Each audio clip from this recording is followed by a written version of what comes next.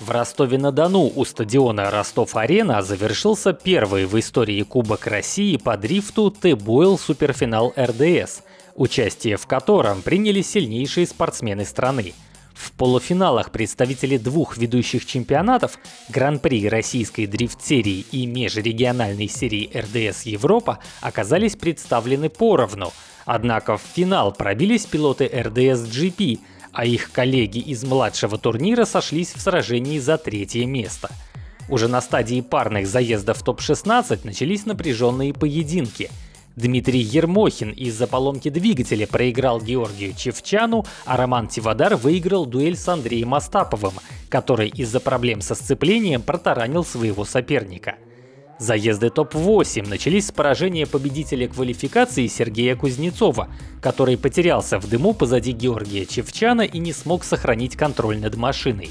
Роман Тивадар победил Никиту Шикова, а Иван Пальмин и Артем Лейтис сошлись в самой продолжительной дуэли уикенда.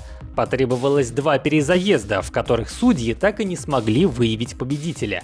В такой ситуации по регламенту победителем становится тот пилот, кто квалифицировался выше. В итоге в полуфинал вышел Иван Пальмин. В топ-4 сложились пары представителей обоих дрифтовых чемпионатов. Чевчан в чистой борьбе взял верх над Данилой Воробьевым, а вот его напарник по команде Такаяма Форвард Авто Роман Тивадар вышел в финал после того, как Пальмин протаранил его после постановки. В итоге в финале встретились Гоча и Роман, а Даниле и Ивану выпало определять обладателя третьего места. Дуэль за бронзу завершилась едва начавшись. Ошибка Воробьева привела к повреждению обеих машин, и третье место досталось бронзовому призеру РДС Европа Ивану Пальмину.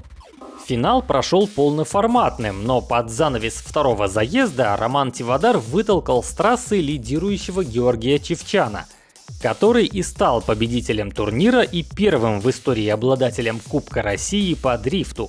Кстати, оба пилота обеспечили своей команде Такаяма Форвард Авто победу в командном зачете. Ну а летний сезон российской дрифт-серии на этом завершен. Впереди у организаторов, пилотов и команд подготовка к новому спортивному сезону 2025 года.